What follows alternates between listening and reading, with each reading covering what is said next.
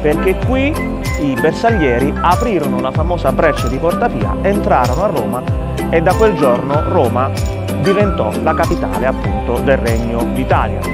Ma dobbiamo necessariamente partire dal Palazzo del Quirinale perché qui ha sede la Presidenza della Repubblica, il Palazzo della Consulta, un edificio romano importantissimo che dal 1955 è la sede della Corte Costituzionale della Repubblica Italiana. E partiamo dal palazzo qui alle mie spalle, Palazzo Madama, sede del Senato della Repubblica, uno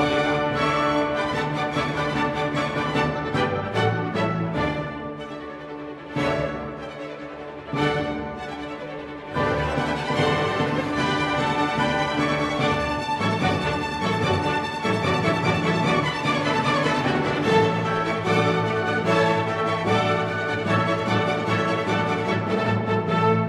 nostro tour prosegue dopo aver visto Palazzo Madama, sede del Senato della Repubblica e quindi della seconda carica dello Stato, andando in ordine ci troviamo adesso di fronte a Palazzo Montecitorio, sede invece della Camera dei Deputati e quindi sostanzialmente il cui presidente è la terza carica dello Stato. Eh, questo palazzo si chiama così proprio perché si affaccia eh, su piazza di, Monte, di, di Montecitorio e la storia ha inizio nel 1653 quando Papa Innocenzo X commissionò addirittura a Gian Lorenzo Bernini la realizzazione di una residenza per la famiglia Ludovisi. Si parla ancora di questa modesta altura di Montecitorio dove è costruito il palazzo perché si ritiene che in epoca romana eh, vi si svolgessero le assemblee elettorali da cui appunto Mons Citatorius.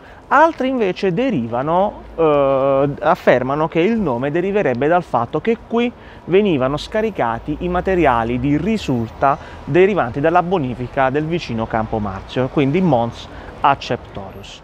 Però eh, è con il risorgimento italiano che questo palazzo assume un ruolo importante, quindi con la proclamazione di Roma come capitale del Regno d'Italia, perché questo palazzo fu espropriato appunto dal Regno d'Italia e destinato a ospitare la Camera dei Deputati. Fu scelto questo e vennero invece scartati Palazzo Venezia e il Campidoglio. Questo palazzo appunto dal 1870 in poi fu comunque oggetto di tante modifiche necessarie proprio per permettere a questo palazzo di eh, svolgere il ruolo di eh, ospite appunto dell'assemblea eh, di una delle assemblee legislative, quindi della Camera dei Deputati. Il palazzo di Montecitorio è anche noto alle cronache, diciamo, politiche perché eh, è qui che ha sede il cosiddetto Salone del Transatlantico.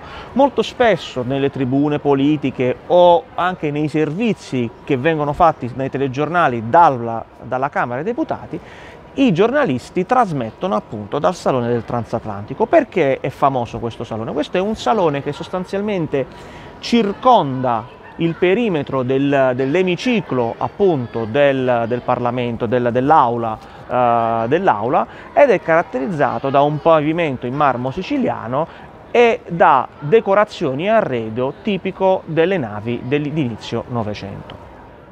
Ma dopo aver descritto questo palazzo importante, eh, cerchiamo di capire eh, in, in maniera sintetica che cos'è la Camera dei Deputati e perché è importante? La Camera dei Deputati è uno dei due rami del Parlamento, eh, insieme appunto al Senato della Repubblica. Fu istituita nel 1861 come Camera dei Deputati del Regno d'Italia ed era in successione, quindi succedeva sostanzialmente alla Camera dei Deputati del Regno di Sardegna e Piemonte e dunque nel periodo monarchico fu affiancata dal Senato del Regno che aveva delle caratteristiche diverse rispetto a quella, ehm, a quella attuale, restò operativa fino al 1939 quando fu sostituita dalla Camera dei Fasci delle Corporazioni e poi venne ripristinata appunto con la Costituzione repubblicana. È da tenere in considerazione che originariamente prima lo Statuto albertino e poi anche la stessa Costituzione repubblicana prevedevano un numero variabile di deputati in base alla popolazione di ciascuna circoscrizione. Solo nel 1963 fu definito un numero fisso pari a 630 deputati e successivamente con la legge costituzionale 1 del 2020 la Camera verrà eh, il numero dei deputati verrà ridotto a 400 a partire proprio dalla prossima legislatura. In questo posto si riunisce il Parlamento in seduta comune per le elezioni del Presidente della Repubblica. Questo perché eh, la Camera dei Deputati ha un'aula grande e capace appunto di contenere eh, più di mille persone. E non ci resta altro quindi che andare a fare un passetto più avanti e andare a vedere invece la sede del governo. Ci vediamo subito dopo. Allora, il nostro tour prosegue, abbiamo lasciato il Palazzo del Quirinale, abbiamo proseguito con i palazzi del potere legislativo, quindi con Palazzo Montecitorio e Palazzo Madama e eh, adesso andiamo nel palazzo del governo, nel palazzo dell'esecutivo, eh, un palazzo noto alle cronache politiche, eh, sede della figura diciamo più rilevante per quello che riguarda la vita quotidiana, la vita politica quotidiana del paese, che è il Presidente del Consiglio dei Ministri, e alle mie spalle appunto potete vedere Palazzo Chigi.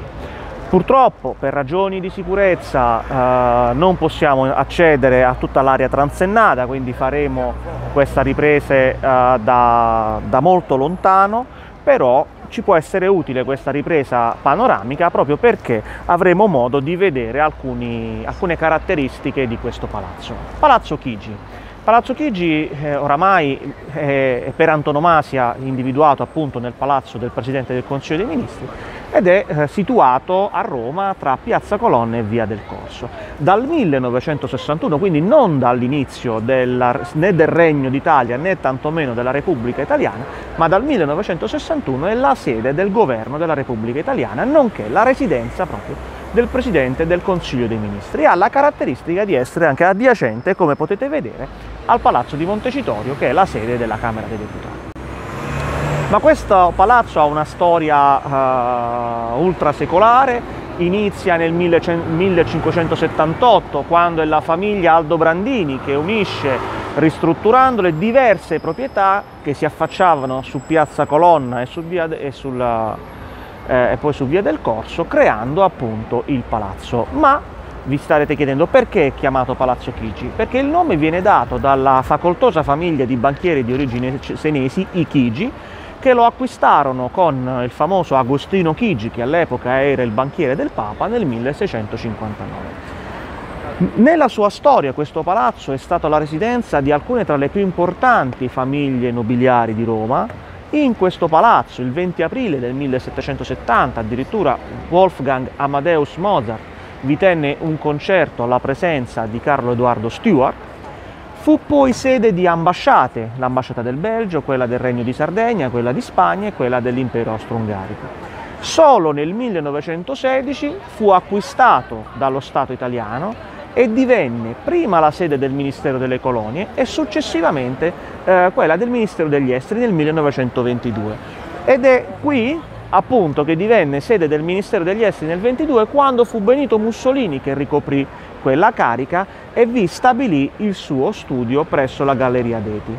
Ed è da quel balcone lì che potete vedere al primo piano, che fa proprio ad angolo tra Piazza Colonna e eh, Via del Corso, che viene chiamata la Prua d'Italia, in cui Benito Mussolini pronunciò i suoi primi eh, discorsi alle folle prima poi di replicarli eh, da quello di Piazza Venezia che ovviamente eh, rievoca nell'immaginario collettivo. E come dicevo appunto solo nel 1961 è divenuta la sede del governo. È eh, singolare che questo palazzo abbia una storia che condivide proprio con un altro palazzo che abbiamo visto prima, cioè il Palazzo della Consulta, perché sia questo palazzo che il palazzo della consulta sono stati allo stesso tempo, in, in periodi diversi ovviamente, sede del Ministero degli, degli, Affari Esteri e sede del Ministero della Colonia. Ma chi abita qui? Chi c'è in questo palazzo? Questa è la sede del governo della Repubblica Italiana. Il governo della Repubblica Italiana è un organo politico composto, composito, perché è composto appunto dal Presidente del Consiglio dei Ministri, che ha qui la sua base, la sua residenza sostanzialmente, e quindi qui poi, sono poi tutti gli uffici della Presidenza del Consiglio dei Ministri, e dai Ministri, che ovviamente formano l'organo costituzionale del Consiglio dei Ministri, che è sostanzialmente il detentore del potere eh, esecutivo. Chi c'è qui? Chi è l'inquilino di questo palazzo oggi? È il Presidente del Consiglio Mario Draghi, che è in carica appunto dal 13 febbraio del 2021. Questo organo è un organo che si pone appunto al vertice del cosiddetto potere esecutivo, ma appunto il Consiglio dei Ministri è un organo che proprio in quanto previsto dalla Costituzione, ha anche dei poteri di tipo normativo, perché sappiamo che può eh, emettere decreti legge oppure eh, provvedere decre- alla decretazione ai decreti legislativi. È presieduto appunto dal Presidente del Consiglio dei Ministri che è diciamo, ecco perché stiamo anche seguendo quest'ordine, il quarto nell'ordine di precedenza tra le cariche italiane dopo il Presidente della Repubblica e i Presidenti del, dei rami del Parlamento e in un ordine superiore rispetto al Presidente della Corte Costituzionale ed è appunto eh, la figura politica diciamo di maggiore rilevanza soprattutto proprio perché è a capo del governo e quindi del potere esecutivo.